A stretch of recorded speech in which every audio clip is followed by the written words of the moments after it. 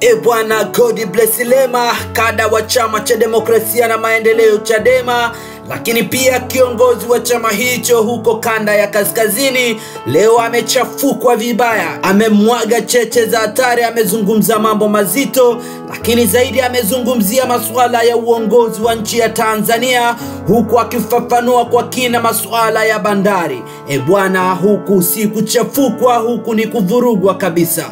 Tumsikilize God bless Lema akitema cheche hizi bila kumumunya maneno, bila kuogopa chochote. E bwana, hii ni vuta ni kuvute. wana realize kwamba interest ya watu katika magari ya mafuta katika magari ya umeme imeanza kuwa kubwa. Charging stations zinajengwa across all of the world. Umeona Elon statement ya Elon alivyoongea uh, akiwa India. India kuna population ya over billions billion. Ukiweza kudivert watu amini asilimia ishirini ama thelathini ya watu wanaotumia magari ya mafuta India wakatumia magari ya umeme, maana yake vile vile una decrease consumption ya petrol na, na diesel kwa asilimia hizo ambazo umepeleka magari ya, ya, ya umeme. Na mtu asikudanganye, mafuta mengi duniani yanatumika kwenye vehicles, kwenye magari. Mafuta mengi duniani yanatumika kwenye, magari, na kwa umeme wa kupampu nyumba na nini, watu wamekwenda kwenye sola, wamekwenda kwenye nyuklia, wamekwenda kwenye ishu nyingine. Sasa ungekuwa na akili ama una watu una, una, una, una, una dawati la uchumi lenye akili lingejiuliza kwa nini mwarabu ana divert capital yake ukiangalia saudia saudia wanaifanya kuwa nchi ya utalii. Nimekuambia nimesoma mimi leo kwamba saudia wanafanya investment moja jangwani ya over 500 million dollars. Lakini saudia maria unakumbuka ile nani yao wanajenga ya maili sabini. Site ndefu ya maili sabini. Unaangalia hii akina ronaldo akina messi wamejenga uwanja wa gofu unaangalia UAE wanavyojaribu wanavyojaribu kuadvertise UAE kwamba nao unaweza ukamwangalia jirafu ama elephant ama ukamwangalia pundamilia Abu Dhabi ama ukamwangalia Dubai. Hasa hii diversion ya economy ya ya ya ya ya, ya, ya, ya nje, huyo mtu angekuja kwako anataka kufanya nawe biashara, ungeanza kujiuliza itaniasiri nini? Ikianza kuuza utaniasiri nini, uh, Maria, una hapo ndipo kunafanyika engagement, serious engagement ambao wanafanya consa- business consultation duniani. Sasa umtumi uh, kwenda Dubai, wale unaweza ukawatuma kwenda Dubai kupiga picha ama kuchukua nani kufanya TikTok, lakini huwezi kuwatuma kwa ishu kubwa ka, ka, kwa, kwa ishu kubwa kama hizo. Hasa hapo mataifa yoyote duniani yanaofikiria huwa yanafanya engagement ya external, yana hunt brain. Una hunt brain nje ya CV zako una anti plane nje bwana, bana hebu tuambieni what's going on? Nini maana sustainable energy athari zake ni nini? Na tunafanya nini? Wangekuwa lati ya mambo mimi nayoongea hapa. Kwa jamaa wangekuja ungejadili nao katika uelewa huu unaokuambia wewe na unaosema hapa kwenye maria space unasema guys listen hebu stop easy but hize hize, hebu tuende taratibu. Tunataka 1 2 3 4 huu mkataba wako utatuzuia sisi eh, nani dar es salaam in the future kuwa transshipment. Na transshipment maanake ni meli zote kubwa duniani zinaleta mizigo kwako meli nyingine zinakuja zina offload pale zinapeleka labda ni ukraine zinapeleka wapi? Dubai hataki kuachia hiyo dili abu dhabi hataki kuachia hiyo dili wewe unasaini mkataba wa kusili hiyo dili Eh, aise, ah, haki ya mungu yani nakwambia tunaongozwa na watu wa shamba sana basi tuache eh? na haya mambo maria eh? Duniani kote unavyopeleka watu kwenye kuconsult deal. Au mchukue attorney general. Au mchukue sijui wanasheria wetu ni wazuri sana. Kazi ya mwanasheria ni kuja kuprepare legal frame. Lakini kuna watu wametushinda sana. Kuna watu wako kwenye discussion kubwa. Maria kuna watu wako kwenye discussion ya kuuza viwanja vya kuishi tayari ya masi huwezi kupeleka kumpeleka tu loya wa kawaida wa nchini kwako kwa sababu actually kwa sababu nchini kwao nchini kwao hata viwanja havijapimwa. Sio kwamba unamdharau lakini mazingira aliyopo yana limit exposure fulani katika kufanya discussion fulani. Ndio hapo unaona wewe unajiuliza kwa mfano nchi kama canada wanataka kufanya wanataka kufanya jambo fulani la uchumi wanawaengeji watu kama Mackenzie, Ma- Mackenzie consultants. Unajiuliza hii canada yenye vyuo vikuu vingi yenye watu wenye akili wengi inawezaje ikaengeji tena external expert kat- katika kuwashauri katika masuala ya uchumi? Kwa sababu wanaamini kuna watu wanajua kuliko wao wanafikiri kuliko wao. Sasa wao unachukua wabunge kamati ya bunge. Unaipeleka um, kamati ya bunge una, na, na baadhi ya waandishi wa habari wenye vigu- wenye viblogu Tanzania. Unawape, unawapeleka Dubai. Ukapeleka Dubai, wakivuta dola elfu tatu pale, wakaenda wakapiga picha kwenye mwambao, wakarusha kwenye TikTok, wakija kwenye kikao, wewe mheshimiwa, tunaona hili jambo ni sawa tu. Kwa kweli tulivyofika kule, kwa kweli unaona kabisa kontena linanyanyuliwa na winchi hivi linawekwa, yaani wanaona wameona vitu amazing, kumbe wameona vitu vya kawaida sana. Ila kwa sababu wana wana wana wana, wana wa, ila kwa sababu ya mazingira tuliopo. Na, na hao mazingira yananuhusu mimi pia.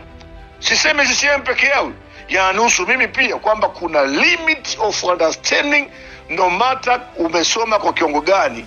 Na hii limit of understanding inasababishwa na mazingira na engagement zako za kibiashara katika maisha. Umekutana nani? Umekana nani? Na hii sio kwamba na ignore. Sasa maria uh, yeah. hawa watu wetu hawawezi kuelewa hichi nachokisema wanasaini mkataba ambao hauna muda.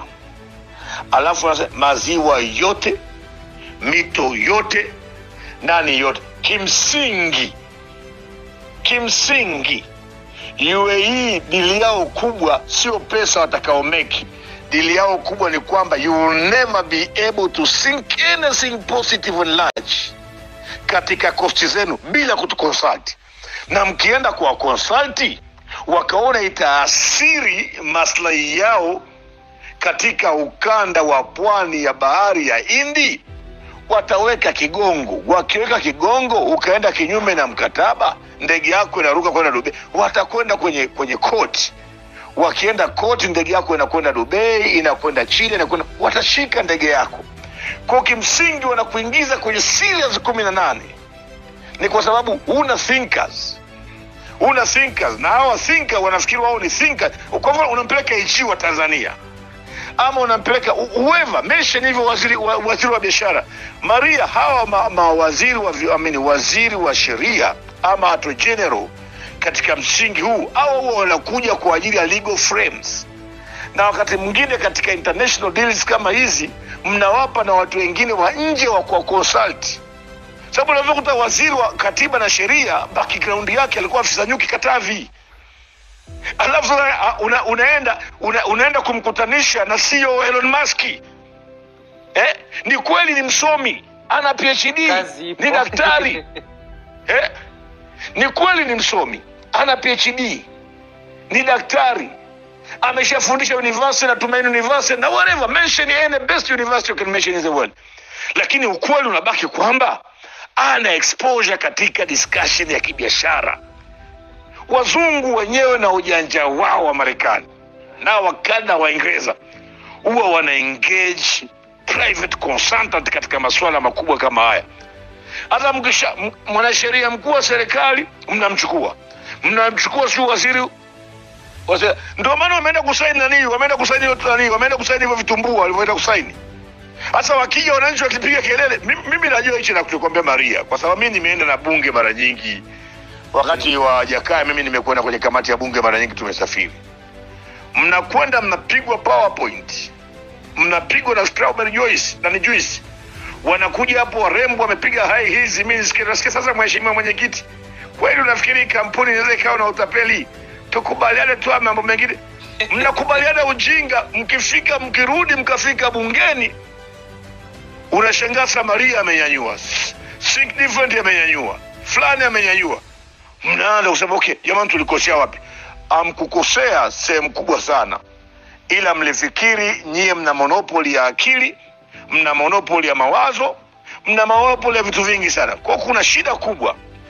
Sasa huu wasiwasi ambao tunausema hapa uh, ni kwamba these people they want to control pwani zote na na na na, na, na, na, na listen, na listen my dear sister ni kwamba uh, mimi kwa mfano ni DP alafu vile vile nafanya kazi kwa interest ya nchi. Moja mimi nitaiambia nchi yangu. Taambia listen mimi nataka ni, nataka niifanye Abu Dhabi na hiyo hii yote hii na ukanda wote huu kuwa safe itakuwaje safe mimi nitawaambia bana mimi nitawahakikishia mimi nawahakikishia ya kwamba hakuta kuwepo na mradi mkubwa wa bandari ambao utatishia bandari ya Dubai. Hatuwezi kuingia. Tanzania. Kuna land kuna mbuga za wanyama ni rahisi kuifanya tanzania kuwa kubwa kuliko dubai kuliko dubai kuendelea kuwa kama dubai. Tanzania kuna weza nzuri.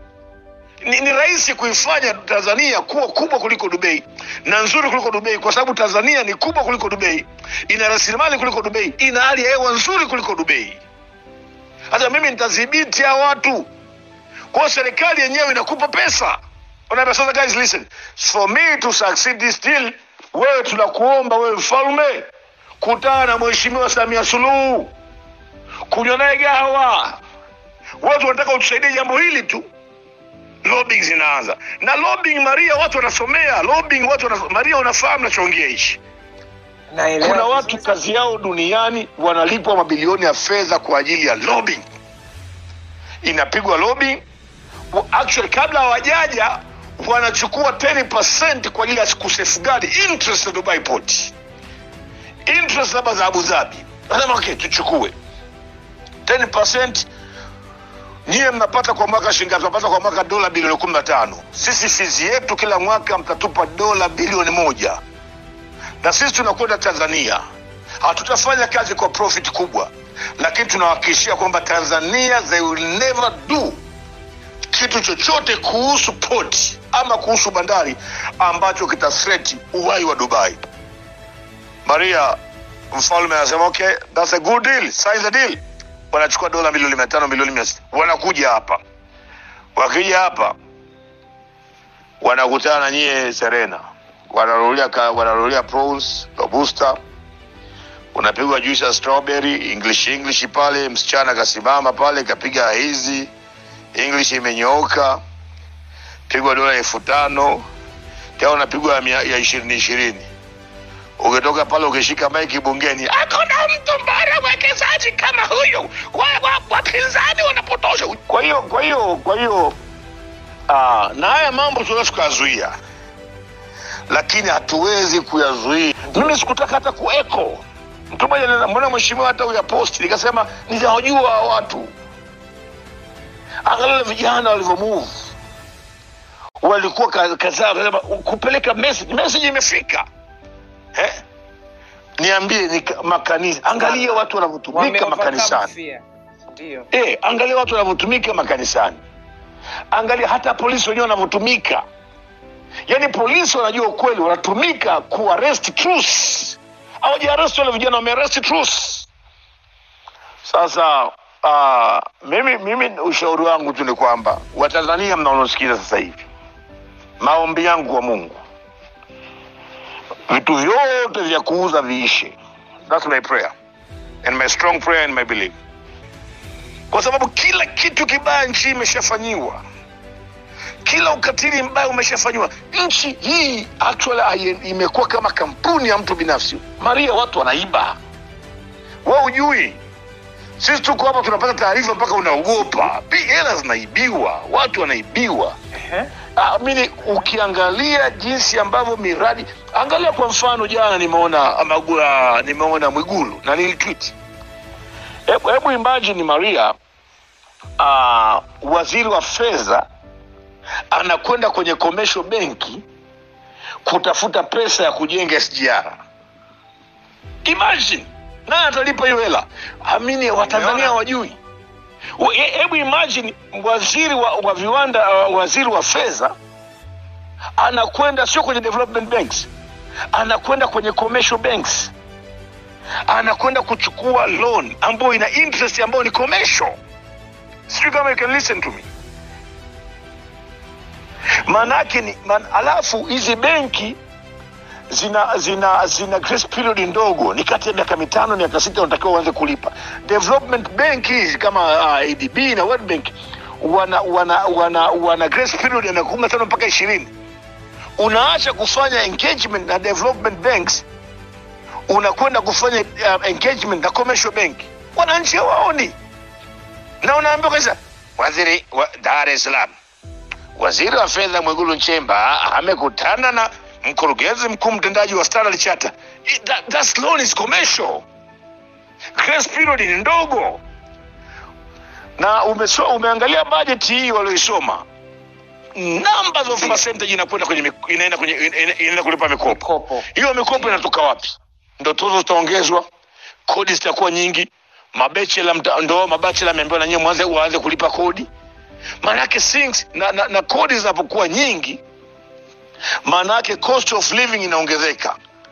Maana yake watu wana compromise wana compromise kwenye kuspendi. Wanaanza kuspendi basic. Ndio maana ukiwa tanzania kila mtu analia maisha ni magumu. Kwa sababu kimsingi watu wamekwenda kwenye basic. Yaani mtu analipa utility bili ya maji bili ya nini bili ya nini. Kwa mtu hawezi kwenda kuspendi hawezi kwenda hotelini hawezi kununua nguo. Ndio maana wanasema hakuna mzunguko kabisa. Hakuwezi kuwepo na mzunguko kwa sababu almost 40 ya pesa anaopata mtu inakwenda kwenye taksi na kwa nini inakwenda kwenye, kwenye, kwenye, kwenye taksi? ni haya ma, ni haya ma, ma commercial loan haya. Kwenye hizi projects ambazo long term ambazo wana grace period ambayo ni very minimum. Kwa mimi maombi yangu kwa mungu na mungu huwa ananisikiliza mimi mara kwa mara. Mungu mimi na mungu tumekuwa na uhusiano mzuri kwa miaka mingi. Maombi yangu kwa mungu mimi kama hali itakuwa tight watu wakapata akili let it be. Lakini kimsingi wananchi mnaonisikiliza mna disappoint nchi yetu. Ngorongoro watu wamehamishwa kwa nguvu. Leseni leo imetolewa mtu kujenga hoteli. Mehamishwa kwa nguvu watu hamishwa kwa nguvu. Ukiangalia hali inavyokwenda ya nchi ukiangalia ugumu wa maisha unavyokwenda maria utashangaa sana. Kwa maria mimi kukumegea niseme tu ni kwamba Ah, hii hali inayoendelea tuwezi tukaizuia nimeona statement ya waziri mkuu anasema kwamba serikali ime ime hait- haitapuuza ushauri wa wananchi. Hatuishauri serikali tunaitaka serikali. Serikali inawajibika kwa niaba yetu sisi ni waajiri wa serikali. Sisi serikali inatumikia sisi. Mimi ni bosi wa serikali. Serikali sio bosi wangu. Tunaitaka serikali ichukue tahadhari lakini tunataka uh, de, deski la maswala yanayoshughulika na uchumi. Hapo usalama wa taifa. Msiweke makada usalama wa taifa inatakiwa kuwa ni taasisi ambayo inamwambia rais ambacho apa, ambacho hajisikii kukisikia. Lakini usalama wakiwa wanakwenda kumsoma rais mudi wanamwambia rais anachopaswa kusikia. Then we- don't have an intelligence analysis na nini na institutions. Na hii ndio hatari ya tanzania kwamba una, una usalama wa taifa wana, wana act according to the president's mood unatakiwa na usalama wa taifa ambao wana anti act kwa interest ya nchi. Una, una national security ambao anasema no, no, no, Mr. madam president no this one no no no no. Master, kama madam president wanataka kupitisha jambo hilo mimi naomba ni resign. Unatakiwa na speaker sema no madam president hii ina terrify maslahi ya nchi na future wa tanzania na biashara za watanzania. No madam president kama wewe ni mwenyekiti wangu wa chama naomba kuresign unatakiwa una usalama wa taifa na bunge la aina hiyo. Sasa mle una watu walioingia kwa wizi wa kura. Spika mbunge anasimama anasema chochote atakacholeta hapa mama samia. Chochote kile atakacholeta mama ukikipinga wewe lazima utolewe. That's stupid. pumbavu kabisa wewe. Pumbavu sio kazi ya bunge. Kazi ya bunge ni kuconsult. Kazi ya bunge ni kukemea. Kazi ya bunge ni kuonya. Kazi ya bunge ni kutoa ushauri kazi kwa sababu rais sio mungu. Serikali yake inaweza ikakosea kwenye proposal. Niye ndo mnamsaidia. Na namna mzuri ya kuendesha nchi ni unapokuwa na watu ambao ni proactive ambao watamwambia rais ukweli. Anajuzi umeonao mwenyekiti ametoa tahadhari. Na niliwaambia pale ukumbini pale. Ametoa tahadhari jamani angalieni. Hili jambo linaweza likaleta shida kwa sababu kwenye katiba swala la, la, la, la, la, la poti ni la muungano. Lakini kwenye huu mkataba mmeexclude. Na hii inaweza ikaleta shida kwa sababu wanasema mbowe ni mbaguzi. Sikiliza nyie. Kuna wabaguzi kama nyie? Hakuna watu wabaguzi kama nyie. Hakuna watu wanatumia siasa ya ukanda, ukanda ukabila udini kama nyie. Tunawajua. Kafu ilivyoanza kuwa na nguvu nyie ndo mlisema kafu ni chama cha kiislamu. Makamba mwislamu baba yake na januari alipita makanisani na mitaani akisema kafu ni chama cha magaidi cha kiislamu. Yeye mwislamu wakufuata chama chake. Tunawajua nyie. Nyie ndo watu wabaya kabisa. Mnatafuta madaraka kugawa watu. Tunawajua. Chadema ilipoanza kuwa na nguvu nyiye mlisema chadema ni chama cha kikatoliki ni chama cha wachaga. Wakina nape chama cha wakristo. Wakina nape wakristo wakawa wanafanya kampeni against chama ambacho waliita chama cha wakristo. Na wakawaambia waislamu elfu mbili na kumi wakati dokta anagombania urahisi mkaanzisha kampeni misikitini kila mahali. Mnaita kura maslahi. Mimi niliongea bungeni. Makinda akaogoa akasema nisitoa ushahidi kura ya maslahi. Mkimwita dr sla padri mkawadanganya waislamu mkawambia kichama cha kikristo wakarudi nyuma waka wengine. Tukaifuka hicho kikwazo. Elfu mbili na kumi na tano.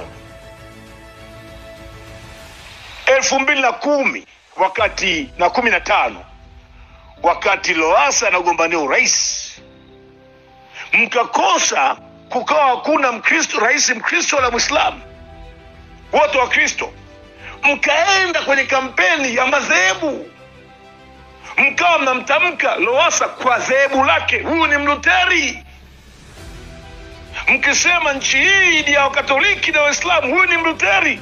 Mkaenda mbali mkavuka mpaka. Mkatoka kwenye ukristo mkaenda kwenye madhehebu. Tunawajua.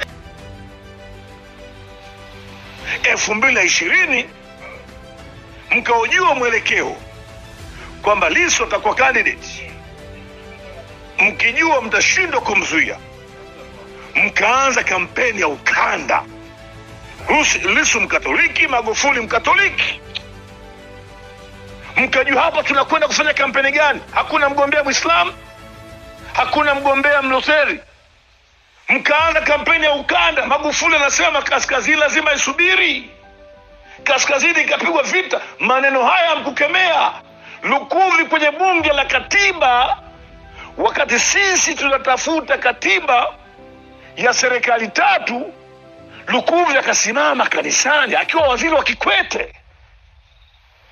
Lukuvi anasimama kanisani anayetamka zanzibar kama nchi ya kiislamu kwamba itakuja kuharibu. Hizo hizo rekodi zipo kikwete akumwahi kumwondoa lukuvi madarakani. Waziri anatamka udini kanisani anatamka ubaguzi kanisani na yuko kwenye bunge la katiba. Hamkumtoa kikwete kumtoa lukuvi mpaka magufuli anaingia. Lukuvi alikuwa waziri mpaka mama samia ingia lukuvi anakuwa waziri. Sisi tunatoa angalizo la mnavunja katiba. Zanzibar imevunja katiba mbona mwisemi zanzibar inasema ni nchi katiba yao mnatuletea kelele sikiliza ccm sikiliza ccm sikiliza na serikali najua mnasikiliza. sikiliza ccm sikiliza ccm ghorofa kubwa kabisa mnaweza kujenga zuri kuliko yote ni wema. Ni wema. Hapa ninapoongea miaka hamsini naokuja atakayekuwa hai labda ni watu kumi ama mtu mmoja. Wote hapa watu wako abavu fote wanaotusikiza hapa kuweni wema. Jengeni magorofa ya wema. Piganieni misingi ya nchi.